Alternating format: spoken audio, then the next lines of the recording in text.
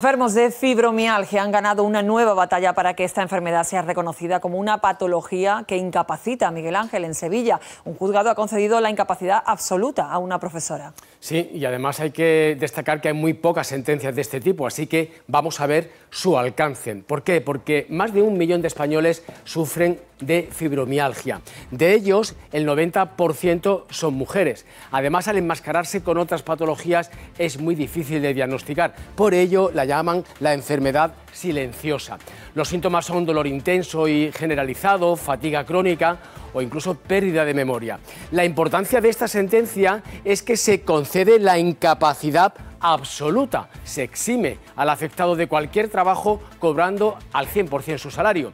Macarena se llama la primera persona que ha conseguido ganar esta batalla judicial. Le llaman el dolor invisible muy difícil de diagnosticar y también de acreditar en los tribunales. Ha sido años de pelea judicial hasta que hemos podido conseguirla absoluta en vía judicial y ya es firme.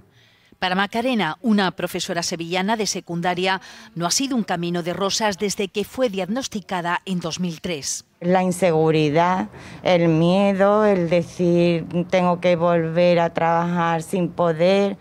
Macarena, como muchos otros enfermos, ha visto reducida su capacidad entre un 50 y un 80%. La fibromialgia se traduce en un intenso dolor en músculos y tejidos como tendones y ligamentos, además de una fatiga crónica. Es frecuente confundirla con otra patología. Te sientes desprotegida en el sentido de que te van dando tumbo como, como un conejillo de India. Ahora vamos a probar aquí, vamos a probar allí.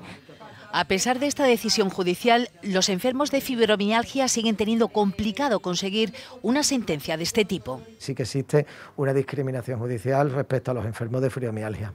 Ante esta situación difícil, Macarena hace un llamamiento. Mi fin es que los que padecemos fibromialgia no nos hagan pasar por todo ese sufrimiento que yo he tenido que pasar. Una sentencia que ayuda a visibilizar esta enfermedad.